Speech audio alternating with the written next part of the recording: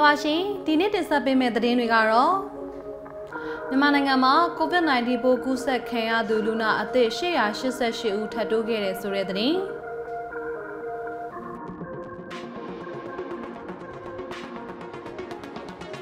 ကွန်ဟိန်းမြို့မှာနှာခေါင်းစည်းမတ်မတက်စင်ပဲသွာလာသူများအားဒဏ်ငွေကောက်ခံပြီးအသိပညာပေးခြင်းလုပ်ငန်းများအရှိန်အဟုန်မြင့်ဆောင်ရွက်ခဲ့တဲ့ဆိုတဲ့သတင်း။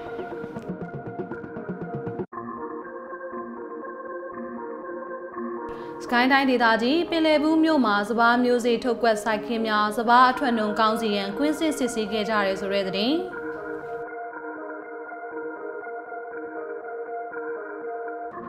ဂျူဗီနက်စ်အသင်းနဲ့နာပိုလီအသင်းပွဲစဉ်အတွက်အတီးပြုဆုံးဖြတ်ချက်ချလိုက်တဲ့စီးရီးအဖွဲ့ချုပ်ဆိုတဲ့သတင်း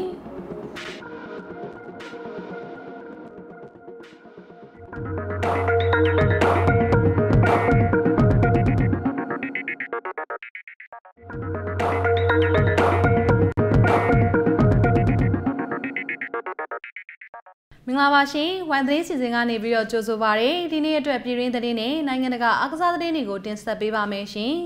မြန်မာနိုင်ငံမှာ COVID-19 ကူးစက်ခံရသူ888ယောက်ထပ်တိုးတယ်လို့သိရှိရပါတယ်အော်တိုဘာလ14ရက်နေ့ည8နာရီကကိုဗစ်ပိုးကူးစက်ခံရသူလူနာ888ယောက်ထပ်တိုးတာကြောင့်စုစုပေါင်း3325ယောက်ထိရှိနေပြီပဲဖြစ်ပါတယ်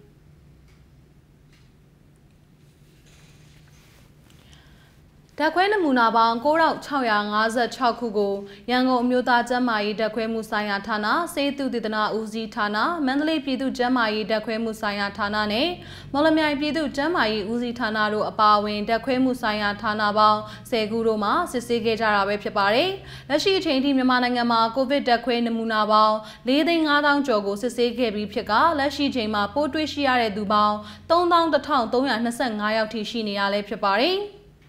အော်တိုဘာလ14ရက်နေ့ညပိုင်းထုတ်ပြန်မှုအရကိုဗစ်ပိုးကူးစက်ခံရပြီးထပ်တိုးသေဆုံးတဲ့လူနာ39ယောက်မှာဆိုရင်တော့28ယောက်ကတခြားယောဂအခမ်းရှိကြတဲ့သူတွေလည်းဖြစ်ပါတယ်။ဒါကြောင့်သေဆုံးသူစုစုပေါင်း932ယောက်ထိရှိပြီဖြစ်ပြီးတော့ကိုရိုနာဗိုင်းရပ်စ်ပိုးကူးစက်ခံရပြီးနှစ်ကြိမ်ဆက်ပိုးမတွေ့ရှိရသူဟာဆိုရင်လည်း13866ယောက်ထိရှိပါတယ်။လက်ရှိမှာဆိုရင်ကိုဗစ်တက်ခွဲနမူနာတွေကို test kit တွေနဲ့ရန်ကုန်တိုင်းဒေသကြီးအတွင်းကဆေးရုံကြီးများနဲ့မြို့နယ်များမှာဆိုရင်လည်းစစ်ဆေးနေရလို့လည်းသိရှိရပါတယ်ရှ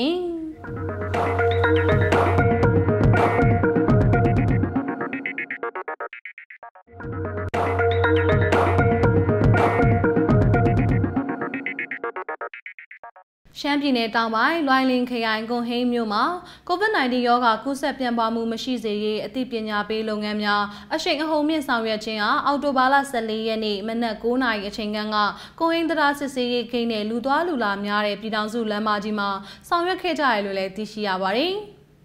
အခုလိုဆောင်ရွက်ရမှာဆိုရင်တော့နေအိမ်ကနေပြင်ပသို့ထွက်ခွာတဲ့သူများလမ်းသွားလမ်းလာပြည်သူများမော်တော်ယာဉ်မော်တော်ဆိုင်ကယ်စီးနင်းသူများနဲ့လိုက်ပါသူများမတ်နှာခေါင်းစီမတက်ဆင်လာပါကဒဏ်ငွေ200ကျပ်ပေးဆောင်စီပြီးမတ်တစ်ခုနဲ့လဲလှယ်ပေးခြင်းမလိုအပ်ပဲနေအိမ်ပြင်ပကိုထွက်ခွာခြင်းမပြုရန်နဲ့မကြာခဏလက်ဆေးရန်အသိပညာပေးခြင်းများဆောင်ရွက်ခဲ့ကြရလို့လည်းသိရှိရပါတယ်။ အဆိုပါဆောင်ရွက်ခြင်းကိုဆိုရင်တော့မြို့နယ်အဆင့် COVID-19 ရောဂါကာကွယ်ထိန်းချုပ်ကုသရေးကော်မတီဥက္ကဋ္ဌရဲ့ကြီးကြပ်မှုနဲ့အထွေထွေအုပ်ချုပ်ရေးဦးစီးဌာနဒုတိယမြို့နယ်အုပ်ချုပ်ရေးမှူးဦးရဲထွန်းနဲ့ဝန်ထမ်းများမြို့နယ်ရဲတပ်ဖွဲ့ဝင်များစီပင်သားရရေးဌာနဝန်ထမ်းများနဲ့မိသက်တပ်ဖွဲ့ဝင်များပူးပေါင်းဆောင်ရွက်လျက်ရှိရလို့လည်းသိရှိရပါတယ်ရှင်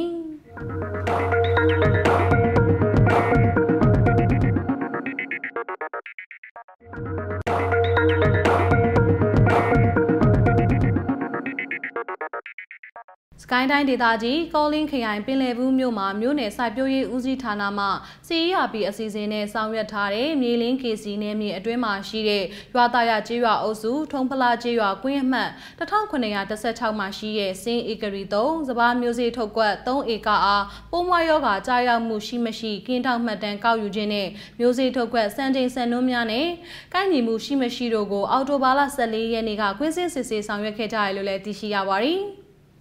အဆိုပါကွင်းစင်းစစ်ဆေးဆောင်ရွက်ခြင်းကိုကောလင်းခရိုင်စိုက်ပျိုးရေးဦးစီးဌာနခရိုင်ဦးစီးမှုဦးဝင်းသိန်းခရိုင်မျိုးစေ့တာဝန်ခံဒေါ်ကျင်စံမြို့နယ်စိုက်ပျိုးရေးဦးစီးမှုဦးနေဝင်းနိုင်နဲ့ ကွင်းတာဝန်ခံတို့မှကျေးရွာစပားမျိုးစေ့ထုတ်တောင်သူများနဲ့အတူစပားဆိုင်ခင်များအတွင်ကိုကွင်းစင်မီကြည့်ရှုစစ်ဆေးကတောင်သူများအားမြို့နယ်စိုက်ပျိုးရေးဦးစီးမှုမှစပားမျိုးစေ့ထုတ်စိုက်ကွက်အားကွင်းစင်စစ်ဆေးခြင်းနဲ့ပတ်သက်ပြီး၎င်းခရိုင်ဦးစီးမှုဦးဝင်းသိမ်းမှစပားမျိုးစေ့ထုတ်ကွက်များအချိန်မီစနစ်တကျရေသိမ်းချွေလီအချောက်ခံခြင်းလုပ်ငန်းများနဲ့ပတ်သက်ပြီးတော့၎င်းရှင်းလင်းဆွေးနွေးပြောကြားခဲ့ကြပါသည်။ ပင်လယ်ဘူးမြို့နယ်မှာစပားများကိုဒေသနဲ့ကိုက်ညီပြီးတော့အထွတ်နှုံးကောင်းတဲ့စင်းအီကရီ၃စပားမျိုးကိုသာအများဆုံးစိုက်ပျိုးကြတာဖြစ်ပြီးတော့မြို့နယ်စိုက်ပျိုးရေးဦးစီးဌာနမှမြို့နယ်အတွင်းစီးရပြီးအစီအစဉ်နဲ့စင်းအီကရီ၃စပားမျိုးစေ့ထုတ်ကွက်ဧက350စိုက်ပျိုးထားရှိကြောင်းအဆိုပါစပားမျိုးစေ့ထုတ်ကွက်များစံချိန်စံညွှန်းများနဲ့ကိုက်ညီမှုရှိမရှိနဲ့ပိုးမွှားယောဂများကြားရောက်ခြင်းမရှိစေရန်စပားအထွတ်နှုံးကောင်းစေရန် မြို့နယ်စိုက်ပျိုးရေးဦးစီးဌာနမှတာဝန်ရှိသူများကွင်းစင်းစစ်ဆေးဆောင်ရွက်လျက်ရှိရလို့မြို့နယ်စိုက်ပျိုးရေးဦးစီးမှုဦးနေဝင်းနိုင်ထံမှသိရှိရပါတယ်ရှင်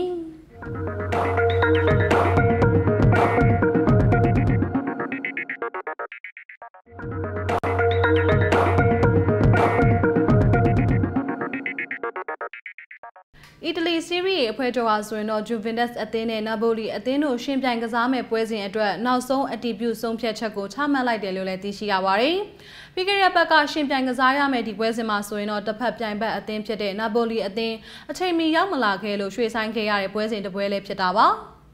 ဂျူဗီနက်စ်အသင်းဟာဆိုရင်တော့နာပိုလီအသင်းနဲ့ပွဲစဉ်အတွက်ပွဲကစားမဲ့အသင်းအိမ်ကွင်းကိုပွဲမတိုင်မီကြိုရောက်နေပေမဲ့ပြိုင်ဘက်အသင်းကရောက်မလာတဲ့အတွက်ပွဲကိုရွှေ့ဆိုင်းခဲ့ရတာပဲဖြစ်ပါတယ်။အီတလီစီးရီးရဲ့ဖွဲ့ချုပ်ဟာဆိုရင်တော့ဒီပွဲစဉ်အတွက်ဂျူဗီနက်စ်အသင်းကို3ဂိုးကိုမရှိနဲ့အလိုလျောက်အနိုင်ပေးလိုက်ပြီးတော့နာပိုလီအသင်းကိုလက်ရှိရမှတ်ထဲကတမတ်လျှော့ဖို့ဆုံးဖြတ်လိုက်တာပါ။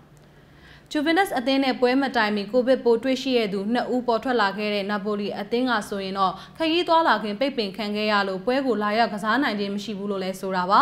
အခုလိုပြစ်ဒဏ်ချမှတ်ခံခဲ့ရပြီးတဲ့နောက်မှာတော့နာပိုလီအသင်းအနေနဲ့အယူခံဝင်သွားမယ်လို့လည်းသူတို့ရဲ့တရားဝင် Twitter မှာရေးသားဖော်ပြခဲ့ရလို့လည်းသိရှိရပါတယ်ရှင်